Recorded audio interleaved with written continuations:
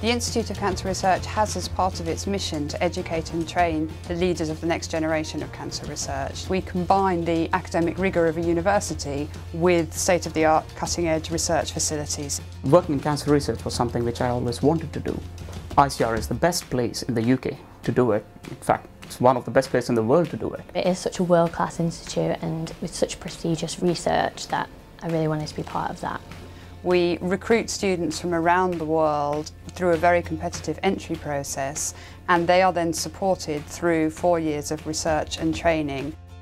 We offer our students a stipend so that our students get a very competitive rate. The Institute of Cancer Research and the Royal Marsden together form a comprehensive cancer centre which is unique for the country and if somebody wants to do cancer research, this is the place to be. I think because it is such a translational institute and all the research is tangible, it definitely inspired me to come here. We have clinical fellows here and MD Res students as well as PhD basic science students and that shows the strong links that we have with the Royal Marsden Hospital.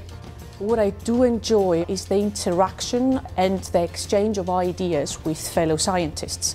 So I bring in the clinical aspect and what the scientists do, they bring in the basic science perspective. We work closely together to produce better results for our patients.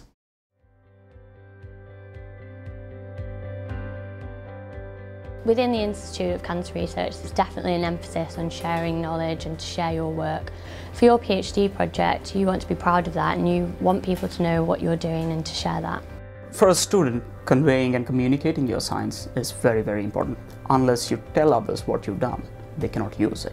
A computational biologist works with a biologist, a chemist, a clinician. Physicists, mathematicians, computer scientists. I can talk to anyone and ask anything in a matter of five, ten minutes. If you go to a university, departments are more segregated.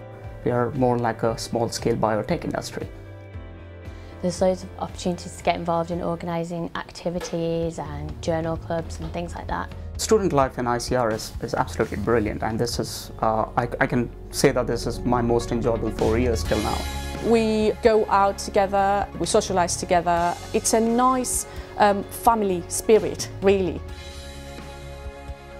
If someone was thinking about um, studying at the ICR, I'd definitely recommend it in terms of its world-leading cutting-edge science and also the great um, atmosphere here and the, the social side's also really great.